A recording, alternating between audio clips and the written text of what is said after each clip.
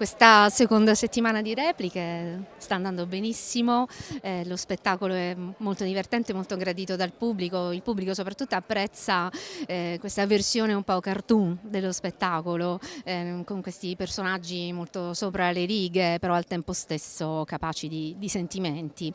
Eh, siamo contenti di stare qua in questa location bellissima vi invitiamo a vedere lo spettacolo, venite, venite, eh, riempite il teatro, eh, fateci felici.